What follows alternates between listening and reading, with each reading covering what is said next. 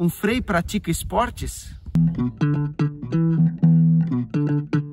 Nós sabemos que para o desenvolvimento saudável de qualquer pessoa, é importante que ela esteja predisposta a cuidar da sua saúde. E isso envolve também a prática de alguma modalidade esportiva.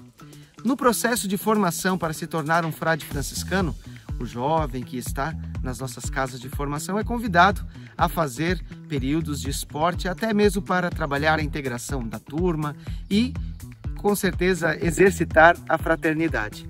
Mas é claro que todo frade é convidado a estar se cuidando sempre e por isso fazer uma atividade esportiva é o modo de cuidar da própria saúde do irmão corpo para poder bem servir.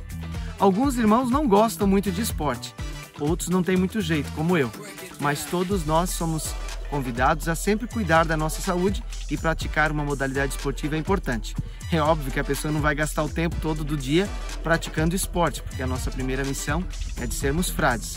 Mas nos tempos livres, nos momentos de lazer, é importante que ela se dedique a uma modalidade esportiva para também distrair a mente e trabalhar o próprio corpo.